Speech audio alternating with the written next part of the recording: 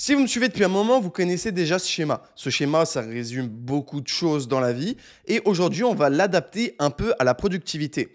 Euh, ce schéma, c'est le suivant. Donc, le schéma adapté à la productivité et à l'argent, c'est le suivant.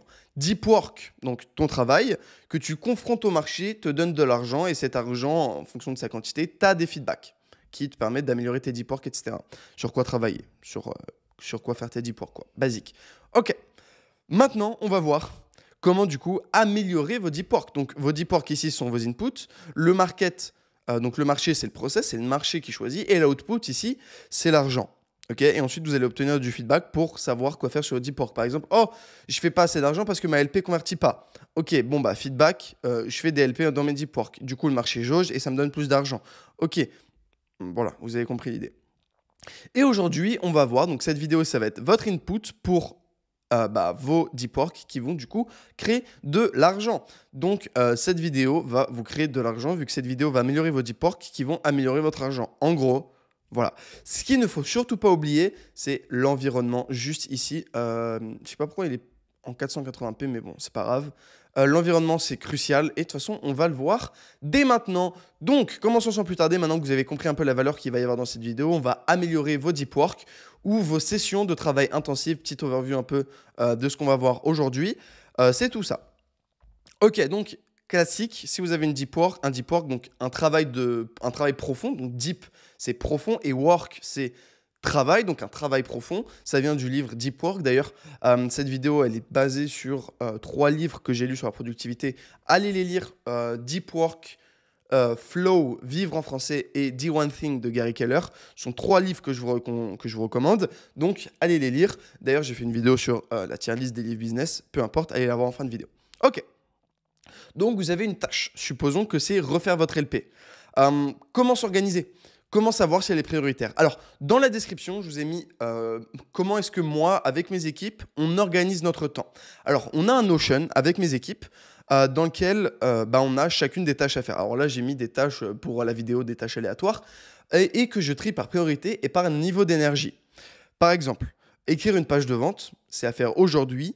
La priorité, elle est ultra. Donc là, il y a écrit quick win. Donc prioritaire et niveau d'énergie extrême. Donc ça va me le mettre automatiquement vers le haut. Et ensuite, euh, je mets l'ordre des deep work, mais ça, ça vient après. On, fait comme s'il n'y avait pas euh, ça. Ensuite, il y a faire le dataset numéro 7, euh, qui est urgent au niveau d'énergie moyen, lire, voilà. Donc vous avez compris, et ça vous le trie automatiquement en fonction de la priorité et du niveau d'énergie. Parce que je vous rappelle, si c'est prioritaire et que ça demande un niveau d'énergie élevé, il faut le faire le matin. Ça trie aussi par date. Donc voilà, par exemple, là j'ai Upsell 1 qui est hyper important et niveau d'énergie extrême. Mais vu que ça fait pour demain, il est tout en bas. Et ici, je peux changer l'état à faire. Et puis voilà. Donc vous retrouverez ce Google, euh, enfin ce Notion en description. C'est vraiment pas mal. J'utilise au quotidien. Ok, alors maintenant on voit que ici nos tasks s'organisent sous deux types de tasks, enfin de tâches. Il y a les deep work, comme par exemple écrire la page de vente, et les light work, comme euh, rappeler le lead. Quoi.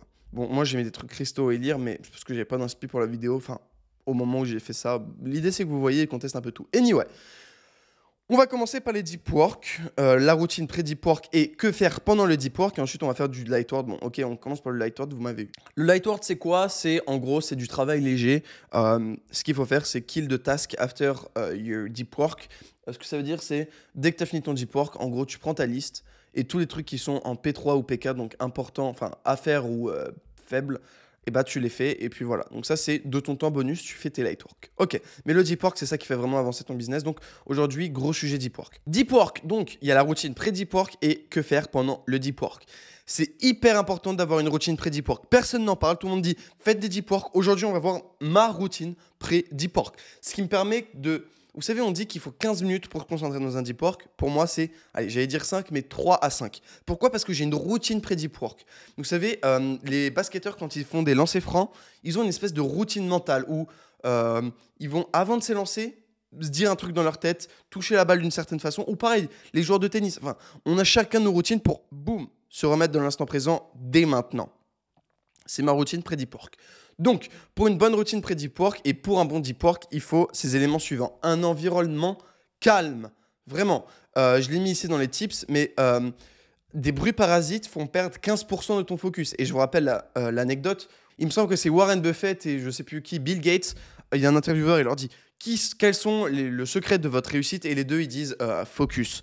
Donc euh, voilà, le focus, si on peut en gagner 15%, on y pense. Donc euh, environnement calme, pas un Starbucks, arrêtez de... Enfin voilà, c'est la base.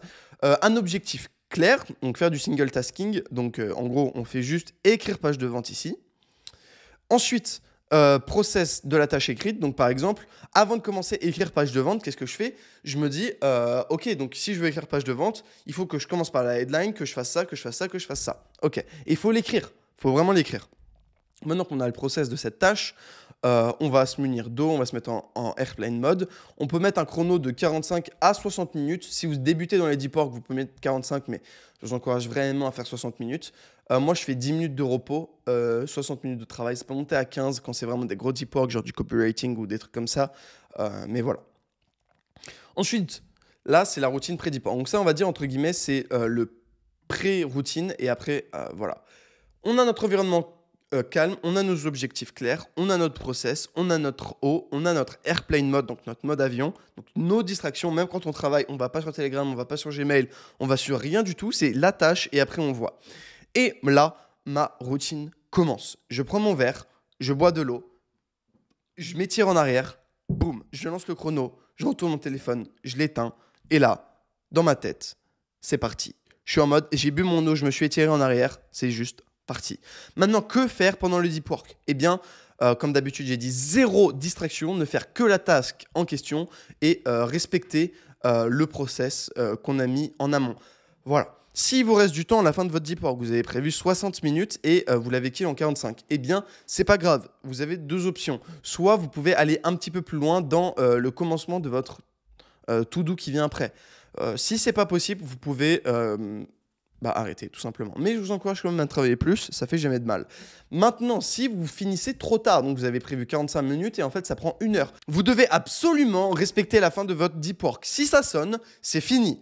Ok, c'est frustrant, je suis d'accord, mais quand vous allez revenir, vous allez être direct dans le feu de l'action et là vous pouvez faire... Euh, vous pouvez finir la task plus faire une task bonus. Donc vous faites un deep work de 1 heure et, 15 minutes plus ensuite 45.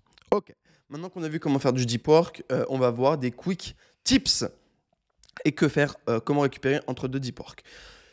Quick tip numéro 1. Euh, les bruits parasites, donc on a vu, font perdre 15% de son focus. Donc en fait, vous êtes 15% moins intelligent. Voilà. Les routines sont pour les winners. Ou winners en anglais. Les routines sont pour les winners. Vraiment, euh, ça c'est un principe de vie. Les routines sont pour les gagnants. Ok? Si tu as une routine, tu l'améliores. C'est ça qui fait s'améliorer dans la vie. Ok? Ce, truc que tu fais à chaque fois euh, qu'il y a de l'enjeu, ça te permet de être dans ta zone de confort là où normalement tu es censé ne pas l'être. C'est absolument puissant. J'ai des routines pour tout dans ma vie. Ma, ma, vie est une succession de routines depuis trois ans. Vraiment. Ok.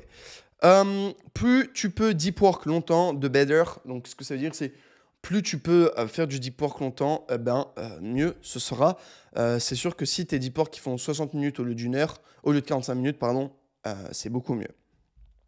Ensuite, buvez beaucoup d'eau. Alors, on se dit, on ne fait pas d'effort physique, donc on n'a pas besoin de boire, mais réfléchir, ça fait consommer de l'eau. on ne s'en rend pas compte. Séance de récup, on verra ça juste après, je ne vais pas vous spoil.